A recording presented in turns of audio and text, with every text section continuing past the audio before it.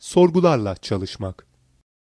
Veri tabanınızda verileri gözden geçirmek, eklemek, değiştirmek veya silmek istediğinizde sorgu kullanabilirsiniz. Sorgu, veri sonuçlarını alma, veriler üzerinde bir eylem gerçekleştirme veya bunların her ikisini de yapma isteğidir. Basit bir soruyu yanıtlamak, hesaplamalar yapmak, farklı tablolardaki verileri birleştirmek, hatta tablo verilerini eklemek, değiştirmek veya silmek için sorgu kullanabilirsiniz. Bu eğitimde iki farklı yolla sorgu oluşturmayı öğreneceğiz.